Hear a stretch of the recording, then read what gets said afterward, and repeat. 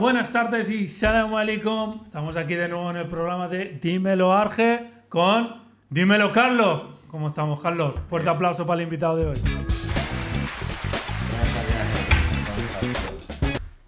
Buenas tardes, Carlos, ¿cómo estamos? Bien, bien. Ahora, bueno, si se me ve bien la cara, ya veréis. Que la venado. Bueno, voy a presentarte un poco para la gente que no te conoce, ¿vale? Ya la gente me conoce ya. Ya te conoce, pero para la gente que ya no te conoce, Carlos Lamela, dos veces campeón de España amateur y el actual campeón de España del peso semipesado. Tal ¿Es cual. correcto? ¿Tal cual?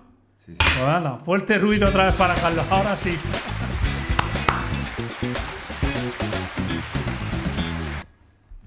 Cuéntanos, Carlos, ¿cómo estás? ¿Qué se siente al ser el actual campeón de España? Bueno, la verdad que se siente soledad. No, ahí. ¿Sí? Ya lo estuvimos hablando antes, claro. Ahora llevo con el título ya casi un año. Lo tuve en junio. Estamos en abril. Y bueno, aún no he podido hacer ninguna defensa. No ha salido nada. Eh, espero este año, antes de sacar, que acabe el año, hacerla. Pero de momento yo no tengo nada. Nada. Ninguna propuesta de, de nadie. Justo he empezado a trabajar con una nueva promotora, con Team Solé, y a partir de ahí intentaremos buscar alguna defensa, pero no hay, la federación no ha puesto ningún aspirante oficial o, o alguien que lo quiera. Tenemos que nosotros buscar, decirle a alguien, oye, ¿quieres ser campeón de España? Y, y cae el título. O sea, el problema que tienes ahora mismo que al ser campeón de España nadie te quiere retar. O sea, nadie quiere pelear contigo por el título. ¿A eso te refieres? Exacto, pero el tema es más complicado, no es que nadie quiera, seguramente hay gente que quiere. Es un tema de que para hacer un título de España hace falta dinero. Entonces, claro, tiene que ser que alguien quiera, un boxeador quiera, y que su promotora esté dispuesta a pagar por organizar el título. ¿Entiendes? Y yo como campeón ir ahí a pelear. O que mi promotora actual eh, organice una velada. Pero claro, la federación también tendría que decir, mira, estos quieren ser eh, pueden ser eh, aspirantes al título. Y hay gente en mi peso en España, hay como 16 o 17, no sé cuántos cumplen los requisitos para hacer el campeonato, pero hay, hay boxeadores. Y hay boxeadores buenos además. Pero tú no crees que a lo mejor no quieren pelear contigo. A lo mejor la intención, no quiero pelear con este tío porque no me va bien, porque me puede ganar, porque es bueno, voy a esperar a que haya otro. Puede ser también. Claro, hombre, esto está claro que siempre, por desgracia, en, en el boxeo, más que en otros deportes de contacto, se tiende a esto, al facilismo, al esperar a alguien accesible. Y yo, obvio, no es que sea el mejor del mundo, pero bueno, soy campeón de España y por algo lo seré. Entonces, al final la gente, pues, a lo mejor está esperando. A ver si va por el europeo y deja el título vacante y peleo yo contra, contra otro, que antes habían unos boxeadores que querían hacer el título de España, lo querían hacer a- antes que lo hiciera yo. Y de repente ya no lo quieren hacer. Entonces, esa gente, no sé, quieren pelear entre ellos, con boxeadores que ellos creen que pueden ganar, pero no, no, no quieren Pero pelear. entonces, bueno, tu, tu primera respuesta ha sido correcta, pero está la real, porque antes de que Carlos Lamela fuera campeón de España había muchos aspirantes y desde que eres campeón de España No, no. han desaparecido los aspirantes, Han ¿no? desaparecido tal cual. Señores, ¿qué pasa? ¿No queréis pelear con Carlos? Decirlo y punto. Sí, había un chico que, un señor, un, bueno, un muchacho, Jerónimo Merino, que quería ser eh, aspirante. Luego había otro que se llama Marcos Ortega, que creo que también quería ser el título. eh, y nada, y luego está con el que yo gané el título, ha entrenado, que él podría pedir la revancha y tampoco la ha pedido. Entonces hay tres, así que se me ocurran ahora, tres personas que podrían y, y no sé por qué. Claro, voy a lo mismo. Yo no sé la situación personal de cada uno, no les conozco personalmente. A lo mejor no pueden, pero claro, o sus promotoras no pueden organizarlo. ¿Entiendes? Porque no es tan sencillo. No, no es, hay que ser realista. No es que ellos no quieran pelear conmigo porque tengan miedo. Pero mm, tampoco están dando un paso adelante, ¿no? Para hacerlo. O sea, que los competidores de Tupper están un poco... No sé, no sé. No sé. No sé. Ese es el sonido real, ¿no? No, pero realmente, repitiendo la primera que te he preguntado, pero quiero que me des una respuesta no tan profesional. Necesito que me des una pregunta más, más personal. ¿Qué se siente al ser campeón de España? Porque esto requiere un esfuerzo, un tiempo, un Sí, no, yo- compromiso. yo estoy entonces, muy orgulloso. yo quiero ser, personalmente, ¿tú qué sientes? Tú me conoces hace años y, y has visto un poco ¿no? cómo ha pasado todo y yo estoy muy orgulloso porque al final es el fruto de, de mucho trabajo, ¿sabes? Y trabajo en el gimnasio y trabajo, bueno, personal y eh, luchar contra, con todo en contra, ¿sabes? Porque yo soy deportista profesional y cada vez me dedico más a full al, al deporte y realmente no tengo apoyo de ningún sitio, de ningún tipo, solo soy yo y con la gente que tengo alrededor mío que me echa un cable y tal, y bueno, la gente del gimnasio y cada vez soy más yo yo yo y cada vez se siente más carga ¿no? en la espalda, pero, pero es una carga que, que disfruto porque estoy haciéndolo bien, estoy mejorando, estoy aprendiendo a, a llevar eso y la verdad que cada vez me siento más como más fuerza y, y con más con más ganas o sea el boxeo prácticamente es tu vida ¿no? ahora mismo sí ahora mismo es lo, yo lo he logrado convertir en eso y, y, lo que más me motiva al final es, es la, la, posibilidad de hacerlo de ver que puedo hacerlo sabes de decir hostia he ganado el campeonato he hecho peleas las he ganado eh, he ido con todo en contra sabes en plan he peleado con todas las promotoras que hay en Barcelona, que eso yo creo que nadie lo ha hecho. He peleado con Gallo Prada, he peleado con BCN Night, he peleado con Team Soleil, que ahora he firmado con ellos. He peleado por todos lados. No es que ha sido que nadie me ha regalado nada, como suele, suele ser en las carreras de los boxeadores, que una promotora les organiza un poco las peleas. Ahora es que yo empiezo a pelear con Team Soleil y empezamos a tener un orden en esto, ¿vale? Ahora, pero a partir del día 19 de abril, que peleo, que... díselo, díselo. Fuerte aplauso para Carlos, que se la ha solo. Carlos, una pregunta entonces. ¿El boxeo cómo llega a tu vida? Porque yo no, no empezaste de pequeño a boxear. No, ¿Cuándo no. y cómo llega a, el boxeo? A mí siempre me. Lo típico, ¿no? Que me llamó la atención, pero yo. En Cuba, mi familia, mi, sobre todo mi madre y tal, no estaba de acuerdo, ¿no? Con esto, nunca. Alguna vez que lo planteé, nunca me, me dejaron, ¿no? Y yo me dediqué a waterpolo, era deportista de alto rendimiento en Cuba, pero hacía waterpolo. Nada que ver con boxeo. Alguna vez lo típico, había entrenado algo, pero nunca nada en serio ni, ni planteármelo. Y una vez vengo a, a España, pues aquí, aquí empecé a, a, querer entrenar algo. Y había un gimnasio de boxeo cerca de casa, se llama Kid Barcelona, yo vivía en Hospitalet y ahí, pues nada, pasé un día por ahí y, y, me gustó, fui a entrenar y bueno, y empecé a entrenar un poquito. Y luego conocí a, a Ronnie, un chico, bueno, todos lo conocéis a Ronnie, que ha sido mucho campeón de España, ¿no? campeón de, de Unión Europea y tal. Y empezamos con las peleas chatarreras, esto que hacía el Javi García Rocha, hacía estas peleas clandestinas ahí, en una chatarrería, y peleábamos gente que pues queríamos ir ahí, pagaban algo de dinero, él, de Pero bolsillo. en las él... peleas chatarreras, Carlos, sí. ¿pelabais por dinero o por, para aprender? Cada uno tendría sus razones. Yo, mira, me acuerdo de la primera pelea que era, era un. Yo peleé con un chico que ya boxeaba hacía tiempo, se veía, tendría 30 y pico, 40 años, yo tendría 21, pero yo llevaba 5 meses o 6 meses entrenando. Y ese tío ya se veía que boxeaba. Físicamente yo era más fuerte, entonces por eso le gané la pelea. Pero realmente era un tío que boxeaba. Me acuerdo que sabía tirar los golpes. Yo aún no sabía tirar los golpes. Y, y en mi caso era como por adrenalina. El dinero me hacía falta porque en verdad yo me acuerdo trabajaba de noche y en ese tiempo estuve aquí sin papeles y todo porque tuve problemas con el tema de los papeles y tal. Y a mí me hacía falta. Pero no era que decía, wow, voy a hacerlo por el dinero. A mí lo que me, me hacía ir ahí era el hecho de eso, de la experiencia, de aprender, de, porque no tenía un conocimiento de lo que era ser boxeador. Y para mí eso me daba la posibilidad de boxear. Y luego ya, por suerte, alguien me dijo, oye, este no es el camino. Que yo estoy orgulloso de haber hecho las peleas estas, pero eh, no es el camino para convertirte en un boxeador. Peleando en la calle así, lo único que vas a hacer es pegarte en la calle y, y ya está. Y ganar 50 o 100 euros o lo que te paguen. Y eso no, no te lleva a ninguna parte. Y a partir de ahí, el mismo Javi igual, esa misma gente te van conduciendo, oye tío, entrena en serio, tal, ponte objetivos y a partir de ahí, pues... empezó Ahora todo. que has hablado de los papeles, de que estabas sin papeles y, sí. y que saliste de Cuba, ¿Por qué saliste de Cuba? ¿Para ser boxeador o para tener mejor vida? No, para cambiar, cambiar la vida. Yo pienso que, que Cuba es un país bueno, que está muy limitado, sobre todo por el tema político, ¿no? Político, ideológico, etc.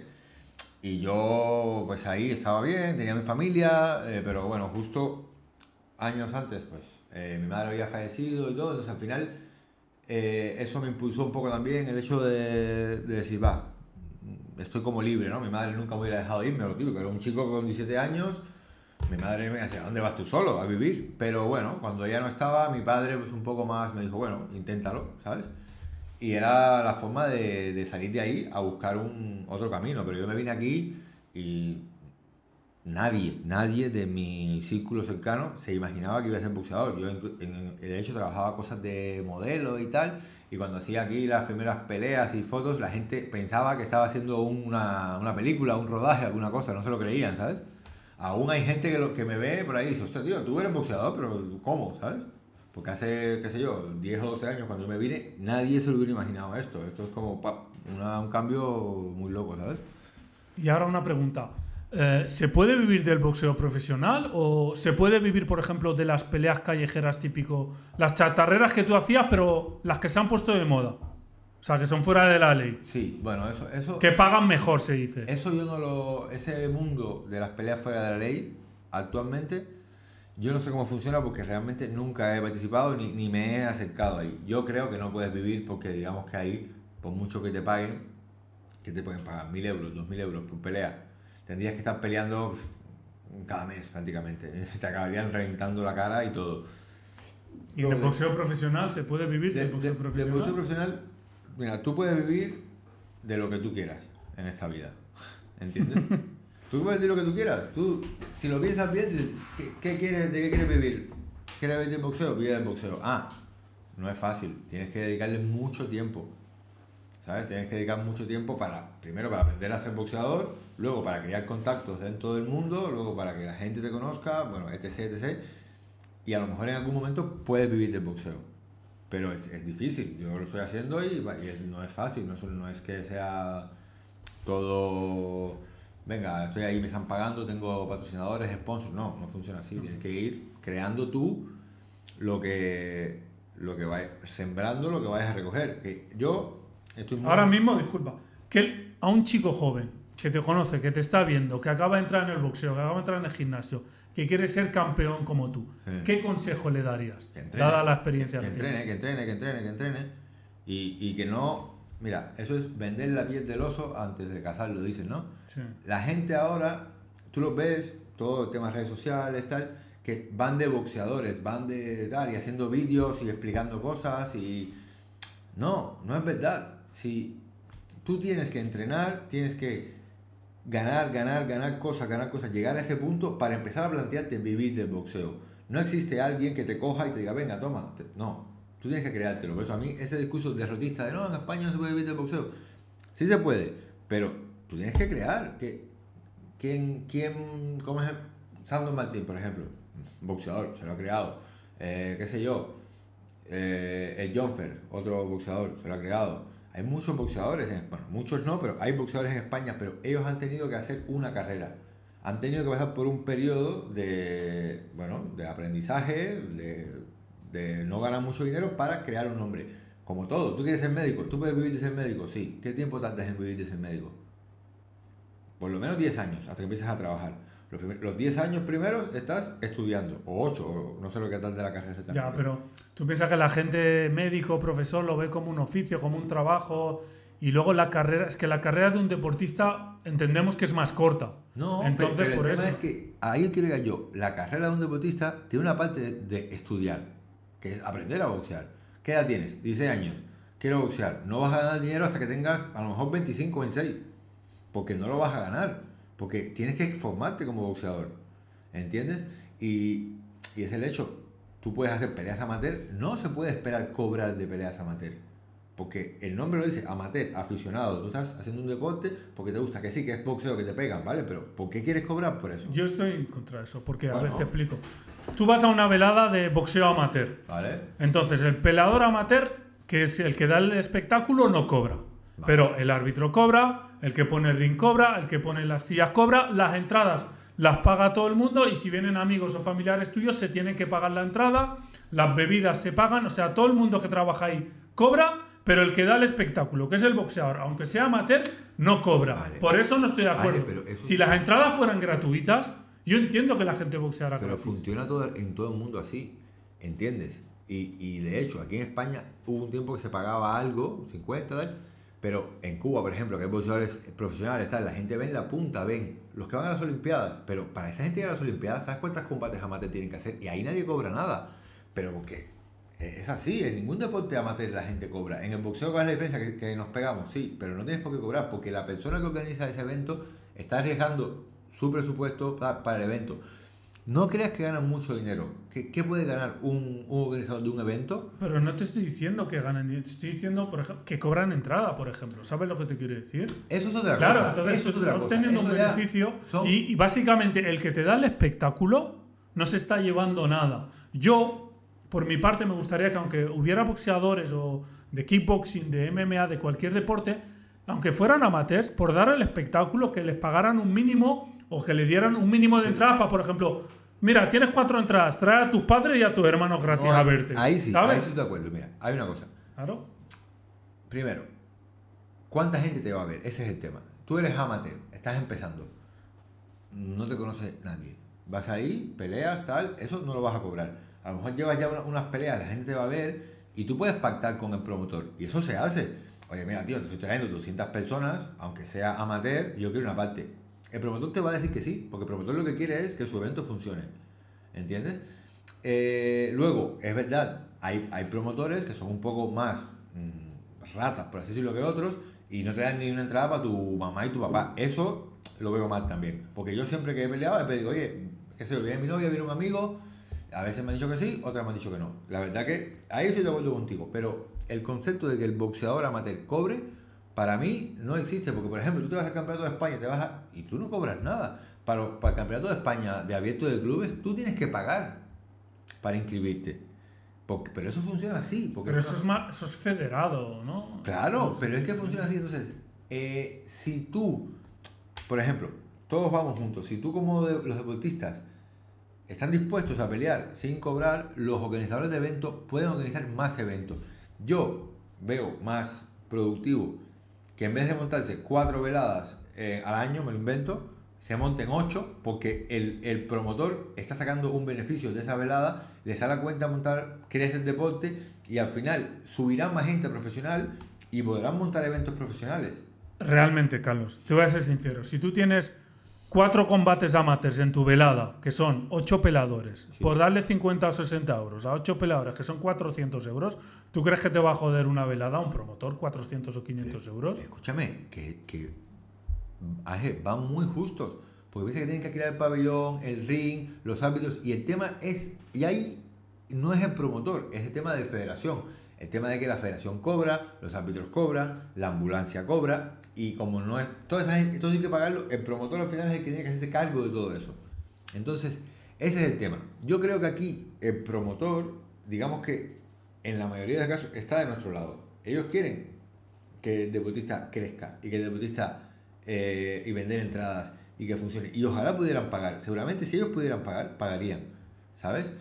Pero ¿qué pasa? Que primero, el tema de la federación hay que pagarlo y tal, y luego que tampoco hay tanto público para el boxeo. Que ahí está el problema de los promotores. Ahí, en que no saben buscar el público. No lo saben hacer. ¿Vale? Porque tenemos el caso de los youtubers y tiktokers y esta gente que llegan, llenan pabellones. Claro, mira. Llenan pabellones esta gente y no son especialistas en este deporte. Mira. ¿Cómo puede ser que haya promotores que llevan toda la vida en el boxeo y les cueste llenar un recinto? Yo voy a hablar. Y, y esto hablo, bueno, no sé, hablo, porque es lo que yo digo, lo que pienso y ya está.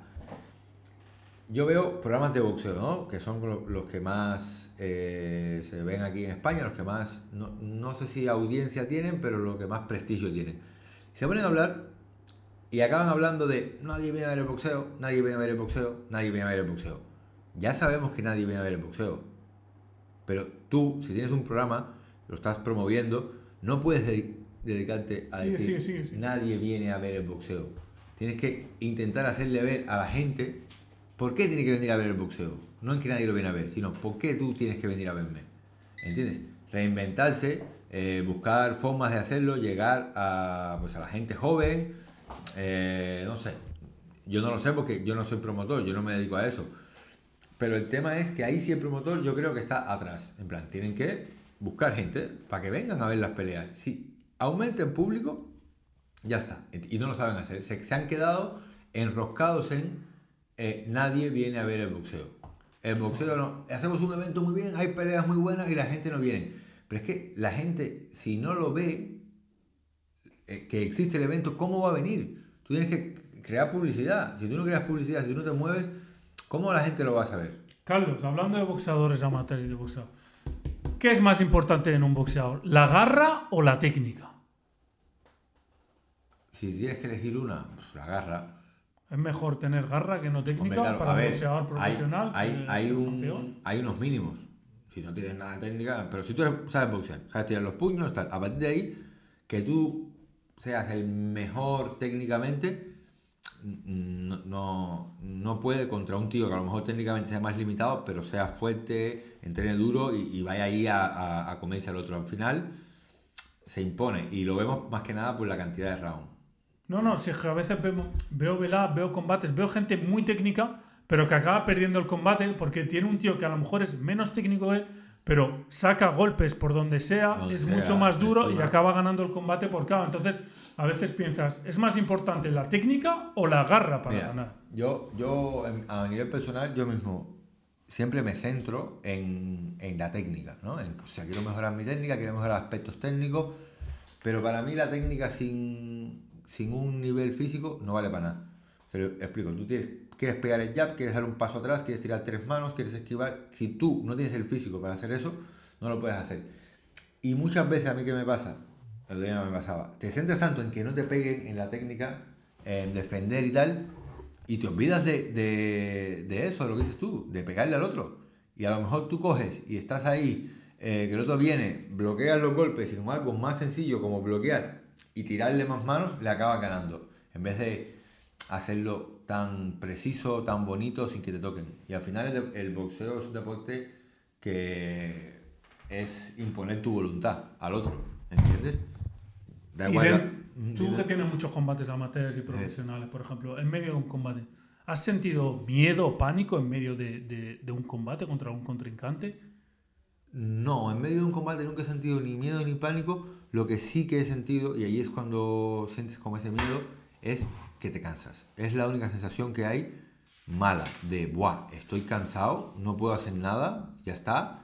Te sientes, eh, a veces me ha pasado con sparring también, que te descentras o lo que sea, sientes que, bueno, que tus golpes no tienen fuerzas, que tal, y por eso es tan bueno sufrir en los sparring, porque ahí lo sabes reponer.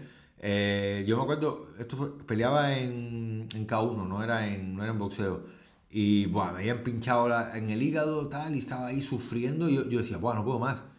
Por suerte, esa pelea la perdí, de hecho, pero por suerte mi, mi instinto me llevó a acabar la pelea, a seguir ahí, ce- cerrarme, y luego ya sobrepasé ese momento. Pero sí lo pasé de que decía, buah, me voy a morir.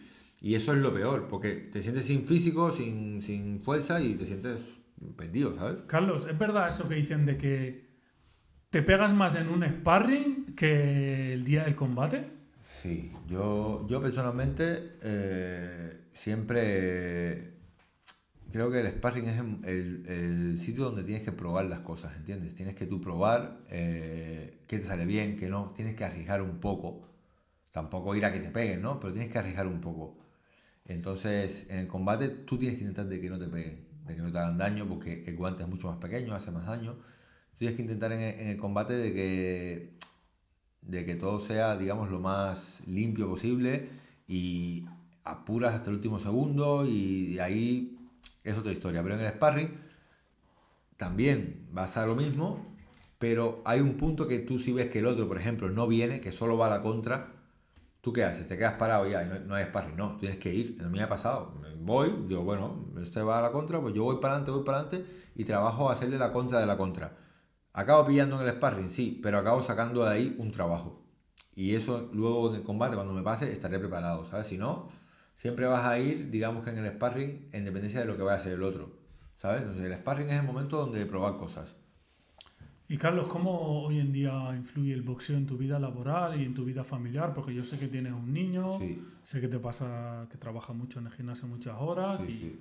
eh, ¿Cómo influye? Porque claro, tienes que entrenar, tienes que trabajar, tienes que pagar facturas, estar por el niño. Bueno, a ver, yo, yo trabajo en el gimnasio, por suerte, donde mismo entreno. En, parte es una decisión que viene, mi vida cambia en relación a eso cuando decido que me quiero dedicar al boxeo.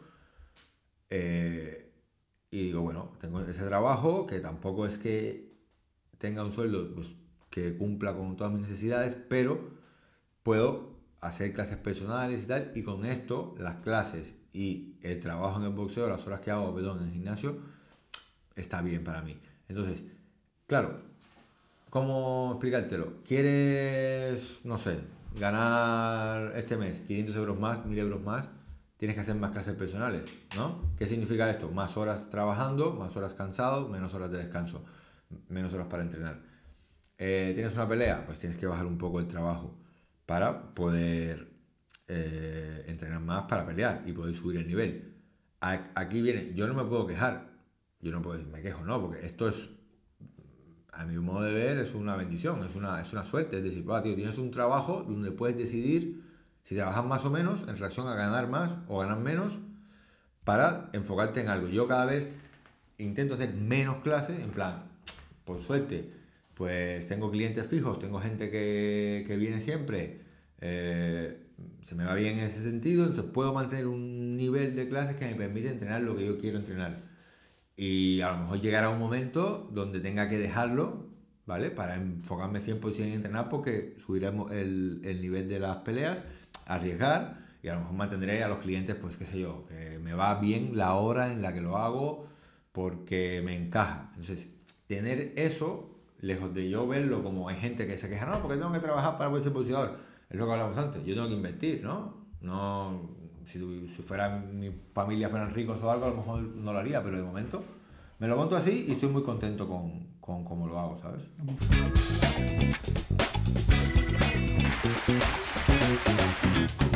Y después de una pequeña pausa aquí con Carlos desde Dímelo Arge, vamos a seguir con la entrevista porque está siendo muy interesante, se está alargando, me gusta.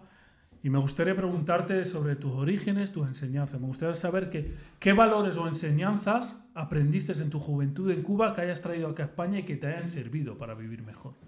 Bueno, mira, yo estoy muy orgulloso de, haber nacido en Cuba y de haberme criado como me crié, porque eso alguna vez lo, lo hemos hablado tú y yo personalmente, porque el hecho de tener, digamos, limitaciones, ¿no? O tener lo justo, por así decirlo, te hace darle valor a las cosas. Y yo creo que vivimos hoy en día una sociedad, hablo de España, hablo de Europa, hablo de Occidente, así, donde la gente no, no somos conscientes de lo que tenemos. Y suele, el discurso que suele imperar es el discurso derrotista, como si tuviésemos problemas, cuando realmente no los tenemos. Yo creo que tenemos problemas creados por nosotros mismos, ¿vale? Pero realmente tenemos cubiertas necesidades básicas, eh, podemos dedicarnos a muchos, a lo que nos gusta, y si no lo hacemos es porque queremos dinero para comprarnos cosas que no necesitamos, ¿entiendes?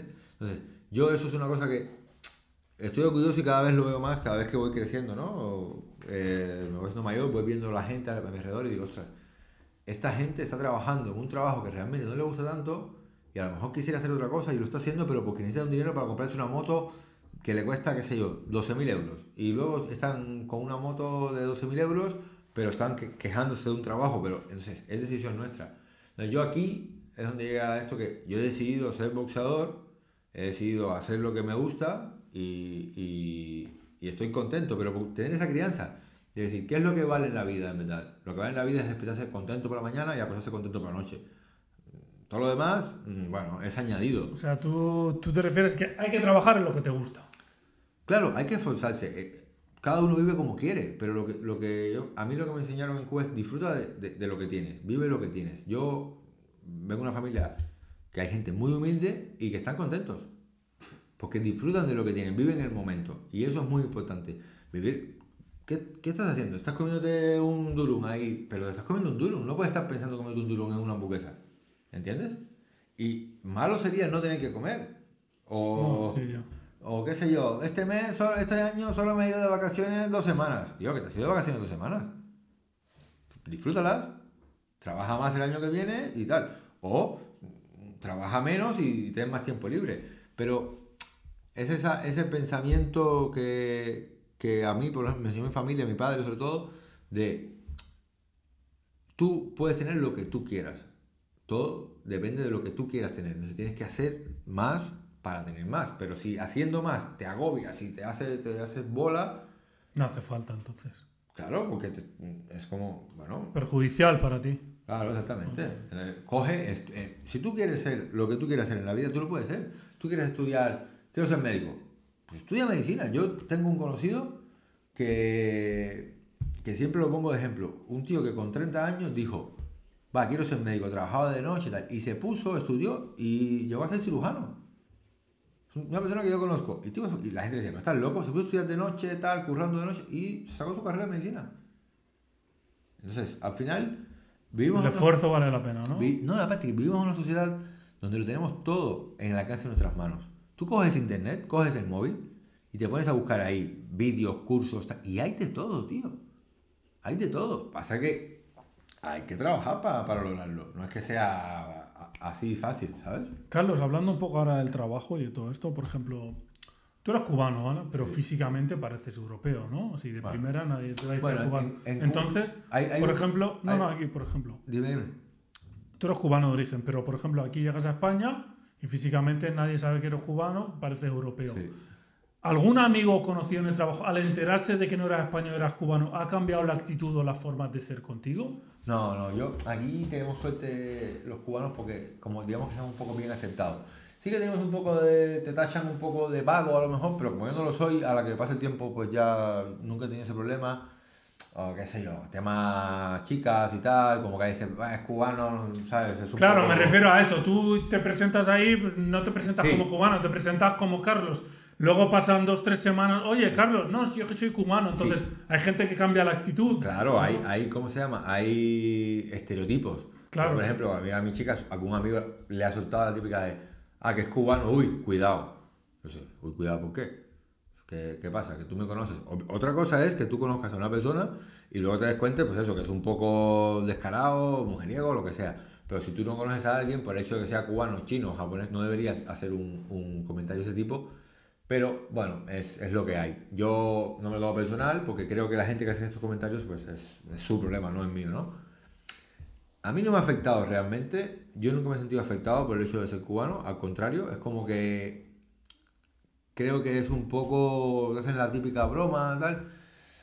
Quizás en este sentido es donde único sí, a veces no me ha gustado decir, tío, porque tienes que, o porque tienes que asumir de que yo por eso ser cubano no- sea más o menos Promiscuo. promiscuo o lo que sea, o, o alguna vez alguien ha hecho un comentario de las cubanas y he tenido que decir, tío, que yo tengo una madre, ¿sabes? Y una hermana, que no tengo hermana, es mentira, pero le digo, tengo una madre y una hermana, como para que se dé cuenta de que lo que, lo que está diciendo no es, no es correcto. En plan, que, No, que- que te afecta directamente. ¿eh? no, claro, porque todas las cubanas son un poco.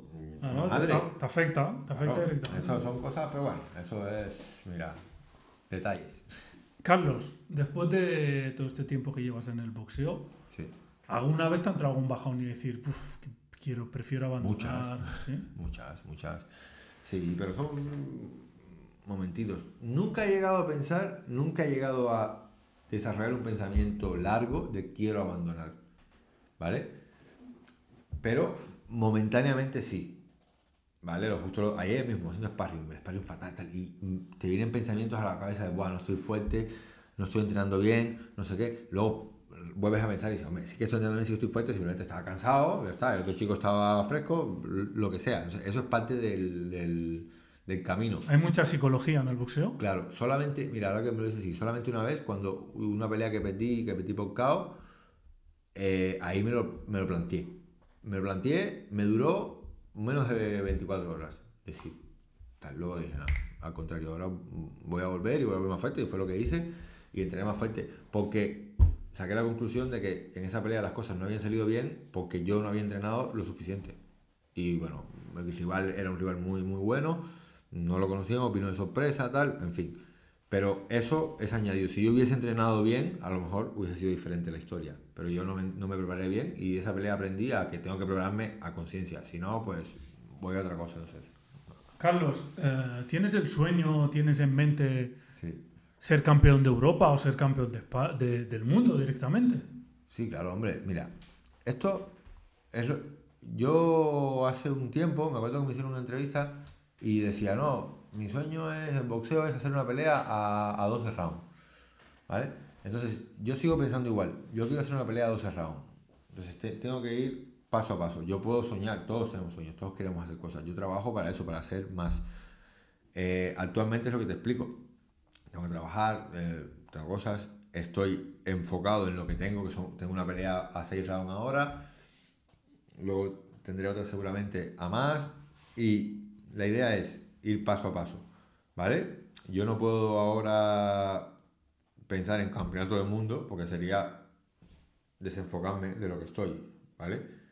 Pero si yo estoy aquí haciendo esto es porque quiero llegar arriba. Entonces, eh, campeonato del mundo ahora mismo de momento no es factible por lo que yo tengo en, mi, en mis manos, en mi mente, no, no es algo factible para mí, pero un campeonato de Europa quizás sí. ¿Entiendes? Quizás eh, haciendo un par de peleas más, ganando, a lo mejor defender el título de España, puedo meterme en rankings.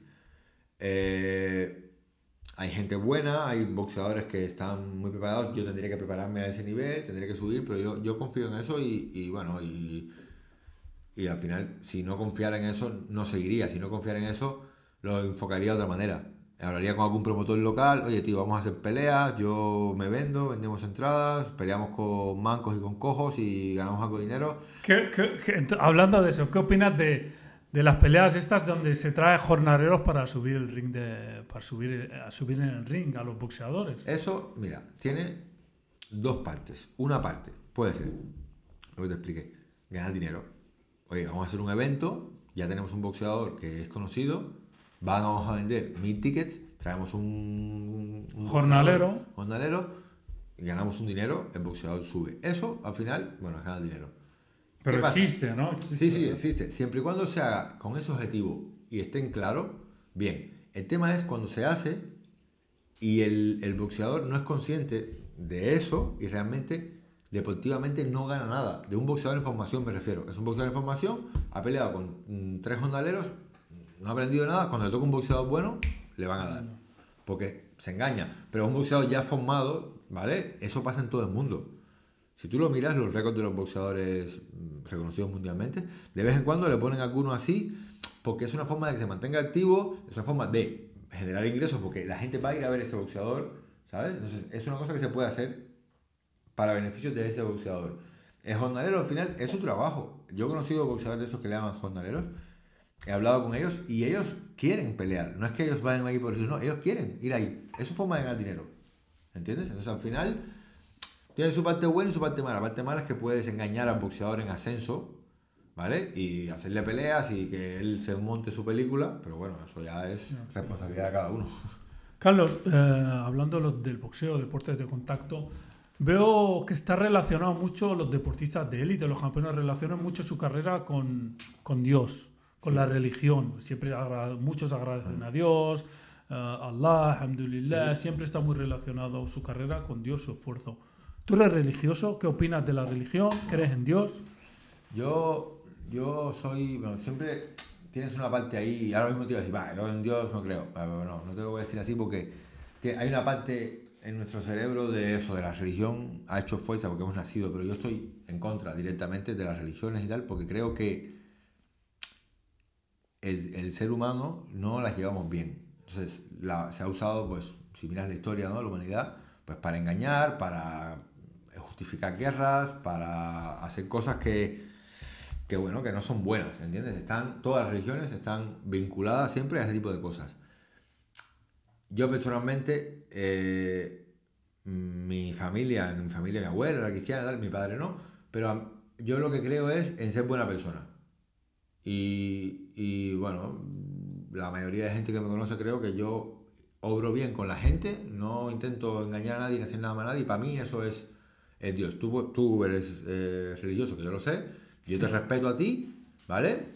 Y respeto al que es cristiano y respeto al otro, y, y para mí sois iguales, sois lo mismo. Si tú eh, eres mala persona, yo no voy a decir, no, porque es musulmán, es mala persona porque tú eres mala persona. Entonces, intento mirarlo así respeto que cada uno sea religioso, pero nunca me inclinaría hacia una religión determinada porque básicamente no, no, no sé, no, no le veo sentido, la verdad. Sacando la religión de...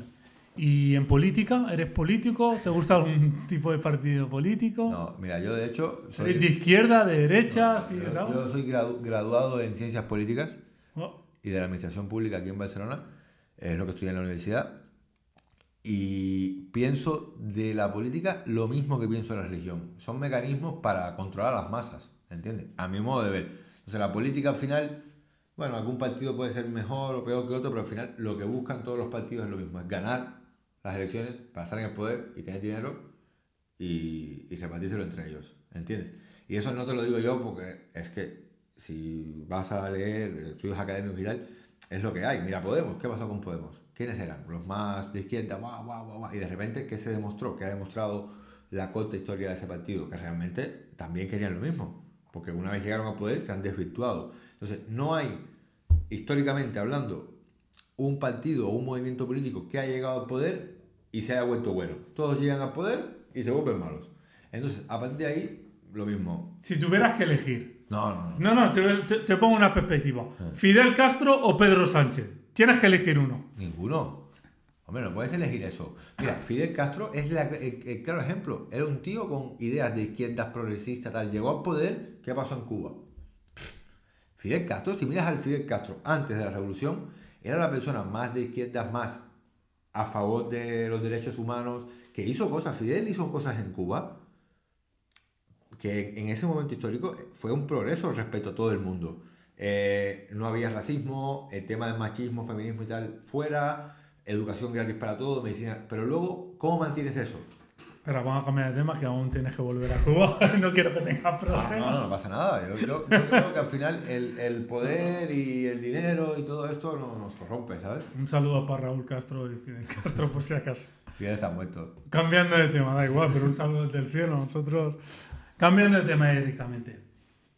Dime, Carlos, alguna canción con la que te motives para salir a pelear o para entrenar. ¿Qué tipo de canción usas o tienes alguna favorita? Sí, tío, eh, siempre me pongo algunas de algún grupo cubano así de. mm, como de reggaetón o medio salsa. Es un grupo que me gusta, ¿vale? Que se.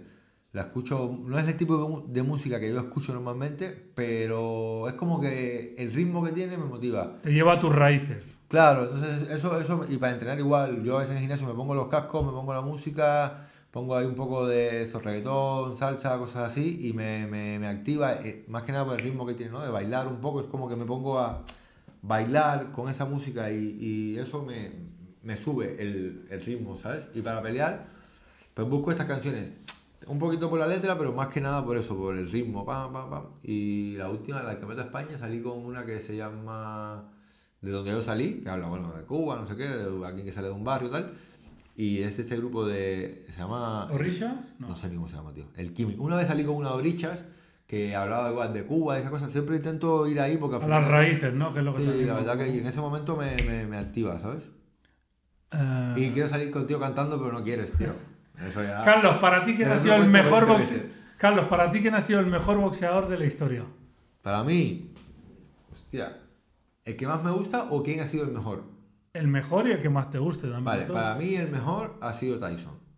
¿Vale? Que yo lo veo y digo, guau, es una locura, ¿sabes? Y que más a mí me gusta, a mí me gusta mucho eh, el cubano este Guillermo Rigondeado. Me gusta mucho. No. ¿Sabes cuál? Ahora que ha saltado el tema de Mike Tyson. Sabes que pronto va a haber una velada donde pelea Mike Tyson con Jake un boxeador que es youtuber, pero que es boxeador, Jack Sí, Paul. sí. ¿Qué opinas de ese tipo de eventos y quién crees que va a ganar? Mm, hostia, yo creo que deberá ganar Jake Paul por la edad que tiene.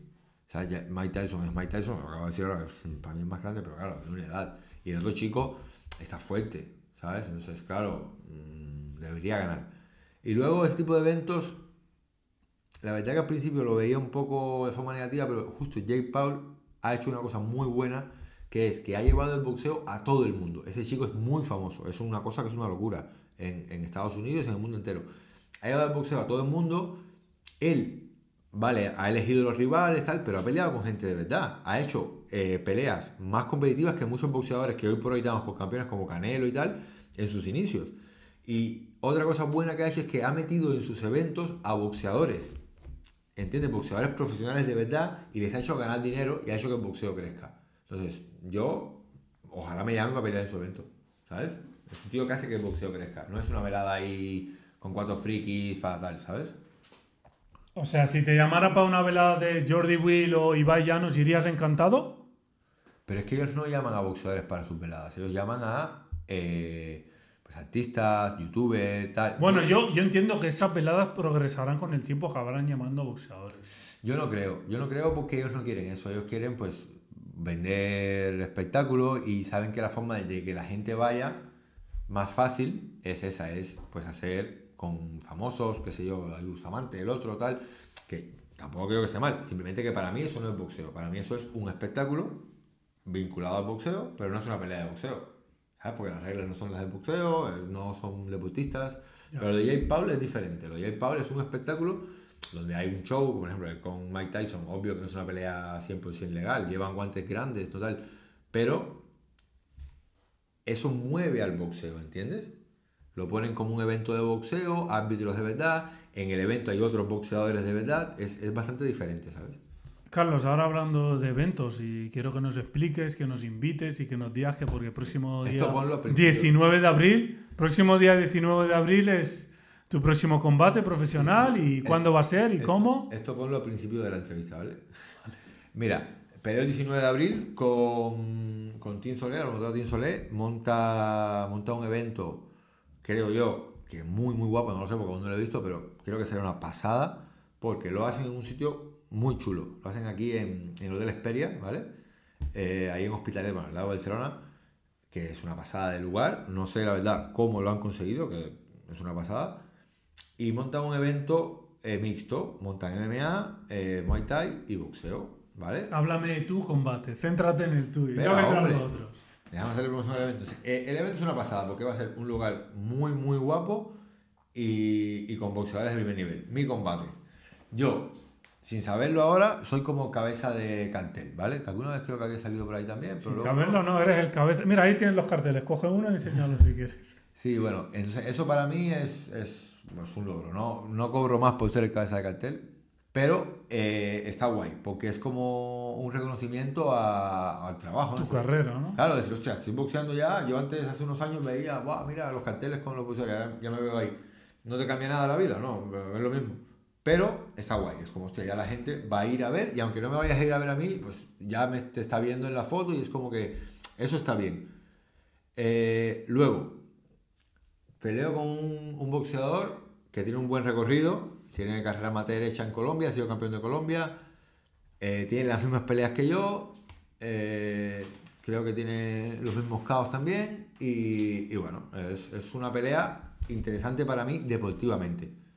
¿Entiendes? Porque lo que hablamos, yo no es que voy a pelear contra una persona que va a perder, voy a, pelear contra una persona que va a ganar. ¿Entiendes? Como mi último combate, que peleé también con Tim Solé, aún no estaba firmado con ellos, pero peleé con su promotora, peleé con un boxeador que venía a ganarme. Y esa es la diferencia. Cuando vas a pelear con gente que viene a ganarte, es una pelea interesante.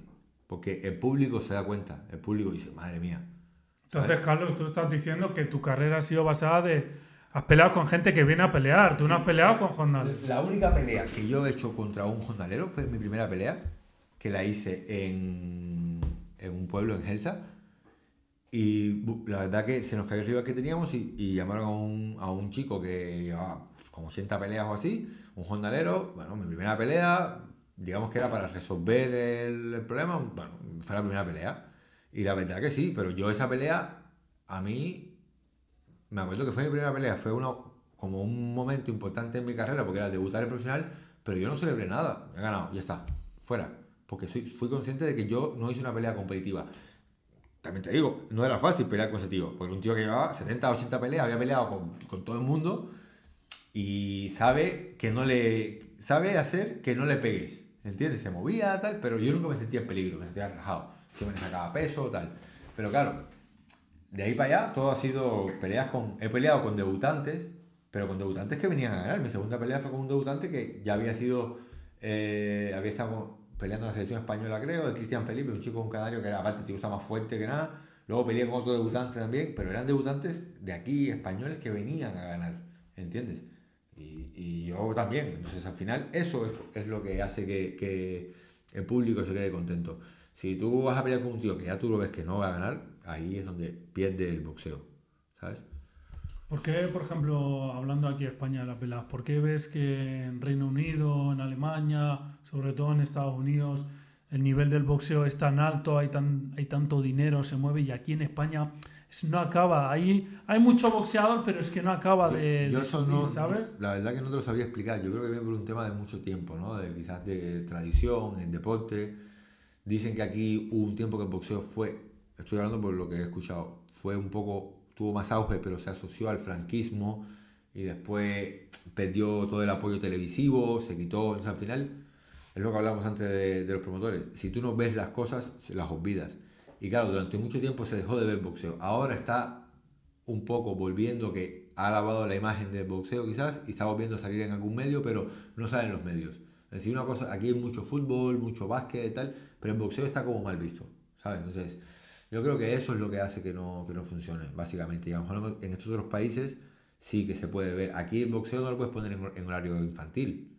¿Entiendes? No puedes poner una, una velada de boxeo a, la, a las 7, 8 de la noche. Eso, eso es raro, ¿sabes? Ya, pero me, me, resulta extraño porque yo paso, veo muchos gimnasios y veo los gimnasios de boxeo hoy en día están llenos. Sí, sí, pero es lo que te digo, está cambiando, pero aún la gente no, digamos, no va a ver eh, un, una pelea de boxeo porque sí. ¿Entiendes? La gente me viene a ver a mí porque me conoce. La gente en un combate hay, qué sé yo, tantos combates y va a ver la gente porque les conoce o porque un amigo te conoce. Pero no es como que tú dices, venga, vamos a ver el Balsa. Tú no conoces a los jugadores del Balsa, no los conoces y vas a ir a ver el fútbol porque quieres ver el fútbol. Pero eso en boxeo no se ha conseguido. En otros países sí, ¿sabes? Pero porque en, en Inglaterra, por ejemplo, el boxeo se da hasta en las escuelas. Pero hablando, ah, hablando de escuela, ahora que estás diciendo, eh, habiendo mucho boxeo infantil, como está viendo ahora, ¿aconsejarías a, a unos padres que apuntaran a su hijo a boxeo si está sufriendo bullying? No. Depende de la edad del niño. Bueno, bueno, a ver. Pero un niño en el colegio está sufriendo bullying, que, sus padres. He dicho, he dicho que no antes de tiempo. Pensaba que me sí, si apuntaríamos un, un niño a boxeo y pensé en como deporte para desarrollar el cuerpo y tal. Y por eso dije que no, ya lo tenía preparado antes que dijera la palabra bullying. Hombre, si tu hijo tiene una edad, está sufriendo bullying, hacer boxeo o cualquier deporte de contacto le va a dar autoestima. Eso está claro. Y ahí yo sí le diría sí. Pero yo lo que decía que no, eh, disculpa que te haya contado, es por eso, porque creo que el boxeo es un deporte que eh, en España, lo que hablamos, no está bien estructurado a nivel de entrenamiento, ¿entiendes? Entonces, los niños, cuando son pequeños, para, para tienen que hacer algún tipo de ejercicios, ¿vale? de, coordinación, etcétera, que otros deportes, natación, incluso taekwondo, que es un deporte de contacto, pero sí que está muy estructurado lo que tienen que hacer los niños. En boxeo vas a, vas a ir a un gimnasio, vas a poner al niño a boxear, a pegarle el saco y no le van a enseñar lo que tiene que, que, que, aprender un niño de esa edad, ¿entiendes? Sí, y la fama esta que ha cogido el, bueno, que cogió hace tiempo el boxeo de que los golpes te dejan tonto y por eso no tienes que hacer boxeo. Ah es una fama reconocida. ¿Qué opinas de eso? Bueno, eso viene dado por lo que hablamos, porque antiguamente el boxeo, ibas a un gimnasio, tú lo sabes, venga, a pegarse, ¿sabes? Claro, los golpes te dejan tonto. Es que eso no es mentira. lo que pasa es que ahora mm, no llegas a un gimnasio de boxeo y te pones a pegarte. Hasta que no hay un aprendizaje y tal, no te pegas. Yo mismo ahora eh, tengo un montón de combates tal, y, y yo no soy tonto, ni nada por el estilo pero porque el boxeo ha cambiado mucho. Antes era, va, péguense, péguense. Ahora cada vez hay más trabajo de defensa, cada vez, no en el combate, ¿eh? que también, pero en el entrenamiento se cuida más al boxeador, ¿vale? Que no se pegue tanto, que esquive, que antes era, venga, había ese, ese, pensamiento de no pain, no game, no, de venga, tírale, aguanta, tira, va. Yo me acuerdo de, incluso al principio de yo entrenar en algún gimnasio, de ir a eso, a pegarnos, ¿sabes? Que está bien, porque hay que hacerlo al final, pero Tú no puedes hacer sparring dos o tres veces a la semana. Y menos sin tener un nivel, porque al final te vas a comer un montón de hostias y cuando lleves ahí tres años te vas a quedar un poco así. Bueno, Carlos, y ahora para acabar ya esta larga entrevista y bonita entrevista, me gustaría que dijeras algunas palabras a los espectadores que puedan ver este TikTok o este, ah. entrevista en YouTube, en cualquier parte que estén viendo, para, para, que se motivaran e ingresaran a hacer boxeo. Ah, para el boxeo. Bueno, para mí el boxeo es lo bueno que tiene es que es como, es como la vida, ¿sabes? Es, es duro, es, es, duro, es, es incierto. Es, un deporte que si tú empiezas y logras pelear, ¿no? Si quieres pelear, ser boxeador, no entrenar. Entrenar es otra cosa, pero si quieres ser boxeador, quieres pelear, eh, tienes que ponerlo todo, ¿sabes? Tienes que ponerlo todo ahí, tienes que jugarte a todo y si quieres eh, ir subiendo, pues tienes que esforzarte y tienes que digamos, deja muchas cosas de lado. Y esas cosas de lado que deja al final te aportan cosas positivas también en, tu vida, ¿sabes? Porque no puedes estar de fiesta, no puedes estar comiendo mal, eh, tienes que descansar, etc. Entonces, el boxeo al final va, va ligado a, muchas cosas positivas. Lo que pasa que es un camino muy, muy solitario. Muy duro. Si queréis mm, hacer un deporte donde tendréis que, tendréis que estar un poco solos y pasar un poco de hambre y que os den golpes, hagan boxeo. Hala, ya sabéis, las claves del boxeo. Soledad, dureza, pero bueno, al final y al cabo felicidad y mucha autoestima, ¿no? Sí, madre mía, Eso. ganar un combate, bueno, tú lo sabes, ganar un combate es pff, una locura. Bueno, Carlos, se nos acaba el tiempo. Quería agradecerte que hubieras venido, que hubieras perdido un poco de tiempo, ya que estás muy estresado con Gracias el ti. No, entrenamiento. no, no, a mí esto me ha venido de lujo porque mira, he, he- he acabado de entrenar, he comido un poquito, me he venido para aquí, he echado la tarde y ya no he pensado en comer hasta, hasta la noche. Bueno, desearte mucha suerte para tu próximo combate el día 19, que no la necesitas porque trabajas mucho y, y nada, esperemos volver a verte una vez seas campeón de, de Europa ya. Venga, ojalá. Venga, muchas gracias, Carlos. Chao. Fuerte aplauso.